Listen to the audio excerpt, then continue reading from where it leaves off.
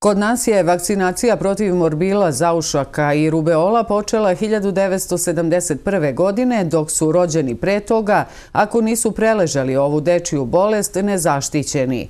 Opasnost od epidemije morbila, koje već ima u Smederevu sa ukupno 15 zaraženih dosad, otvara pitanje njihove zaštite.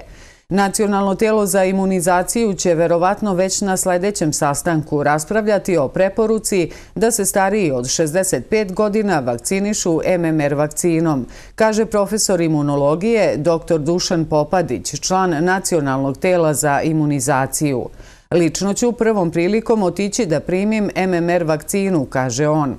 Profesor Popadić objašnjava da virus morbila uopšte nije naivan i da osim što može izazvati upalu pluća i strahovito oslabiti imunosistem, može dovesti i do smrtnosti osetljivih grupa. Posebno brine to što ovaj virus briše do dve trećine naše imunomemorije, što znači da organizam ne pamti više ni jednu primljenu vakcinu.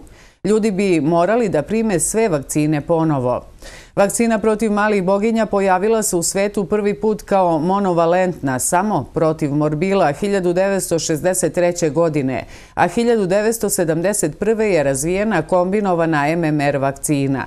Krajem 50. i 60. godina prošlog veka od morbila je umrlo duplo više dece nego od dečije paralize, koja je u tom trenutku prepoznata kao jedna od najviše zabrinjavajućih dečijih bolesti.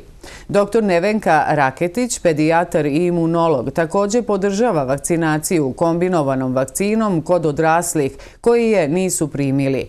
Podseća da je kod nas obavezna imunizacija protiv malih boginja uvedena 1971. godine, a deset godina kasnije vakcina je postala dvokomponentna protiv morbila i zaušaka. Tek 1991. dobijamo MMR vakcinu sa tri komponente. Uključene su i rubeole, ali je obuhvat vakcinacije bio nepotpun zbog sankcija, pa se ona daje u dve doze tek od 1996. godine.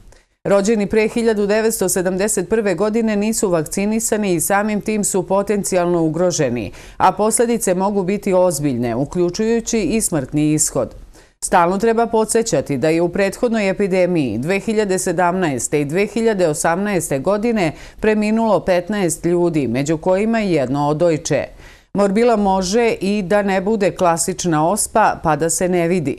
Dete će tada zaraziti one koji su najosjetljiviji, trudnice i starije građane koji nisu vakcinisani ili nisu preležali male boginje, kao i decu sa neurološkim poremećajima koja ne mogu da se vakcinišu. Zato insistiramo na obuhvatu vakcinacije od 95 od 100 da bi se stekao kolektivni imunitet, kaže dr. Nevenka Raketić. U riziku od zaražavanja su i osobe koje koriste kortikosteroide i oboleli od malignih oboljenja. Zapaljenje pluća javlja se kod svakog 20. obolelog od morbila i ono je najčešći uzrok smrtnosti. Ostale komplikacije su upala srednjeg uha, encefalitis i gubitak vida. I do sedam godina nakon pojave morbila može doći do zapaljenja mozga sa teškim posljedicama i potencijalno smrtnim ishodom. I doktor Georgios Konstantinides, predsjednik Udruženja pedijatara Srbije, slaže se da je teorijski opravdano vakcinisati i starije. Ipak, dodaje, trebalo bi biti oprezan jer je u pitanju živa vakcina koja može da izazove slične simptome kao i sama bolest. Prema podacima Zavoda za javno zdravlje u Beogradu, o trošku države u ovom trenutku MMR vakcinu mogu primiti odrasli koji nisu imunizovani u detinstvu ukoliko su zaposleni u zdravstvenim ustanovama ili su bili u dodiru sa osobom obolelom od malih boginja u roku od 72 sata od prvog kontakta.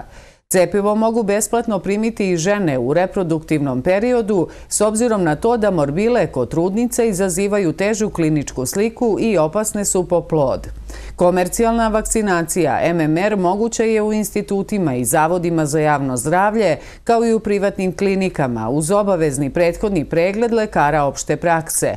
Oni koji ne znaju da li su u detinstvu preležali male boginje, a nisu vakcinisani, mogu uraditi test na antitela u privatnim laboratorijama.